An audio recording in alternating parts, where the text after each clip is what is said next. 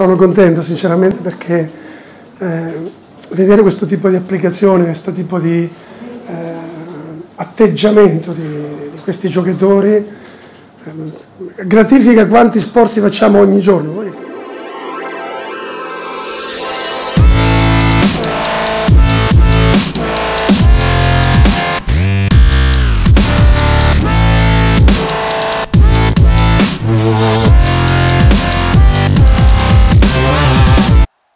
Vittorie consecutive, 7 su 8 partite, ma soprattutto quella posizione in classifica là in alto, soprattutto insieme alle corazzate Milano e Reggio Emilia e alla rivelazione Trento. È l'anno dei record per l'Avanoli Cremona, di squadra e personali. Così ha battuto quello dei punti, 45 con 18 su 21 al tiro, in tre gare. È l'anno di grazia, almeno fino ad ora, ed è giusto godersi il momento.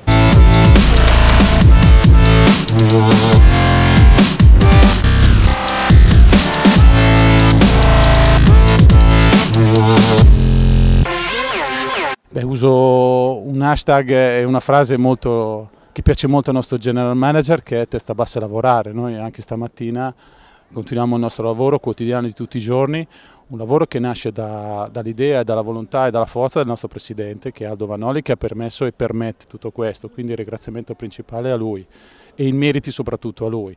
Eh, devo dire che è, stato, è un bel progetto questo della Vanoli Family anche perché il presidente da quest'anno ha allargato all'interno delle del CDA nuove figure come Alberto Pontevichi di Sapiens, eh, c'era già Davide, è entrata anche Ruth e quindi è, è, importante questo progetto tutti i giorni per eh, sostenere quello che è la squadra perché il merito è principalmente dei ragazzi della squadra, dello staff tecnico e, e di Andrea. È una sensazione stranissima.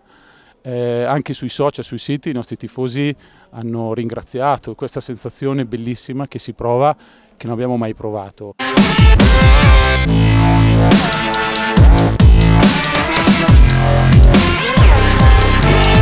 C'è molta soddisfazione perché credo che i risultati raggiunti siano frutto di, di un lavoro e di una progettualità nata quest'estate e comunque anche l'anno scorso. E io credo che alla fine abbiamo in società tutte persone che in questo momento stiano lavorando per la causa e una grandissima passione per, per la pallacanestro e, e questo si, si respira.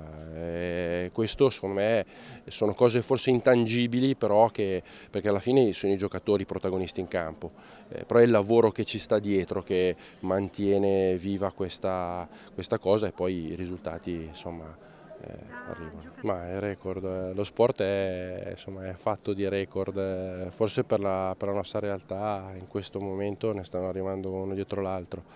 Eh, speriamo di parlare di record anche a fine stagione. Ah, sicuramente eh, bisogna godersi il momento oggi, domani cominciamo a parlare ai ragazzi, a tenerli tutti coi piedi per terra, però credo che eh, abbiamo anche in squadra gente consapevole e insomma, profondi conoscitori dei propri mezzi, quindi credo sia anche un po' più semplice. Ma forse non le ho ancora provate, però da giocatore sono le vittorie che ti danno, che ti danno magari lustro che, o che ti danno soddisfazioni. Adesso mi godo questa piccola soddisfazione, eh, ma più che altro mi piace per, per, per, la realtà che siamo e per la, per la città. Ecco, e vedere il palazzetto pieno sia una grandissima soddisfazione.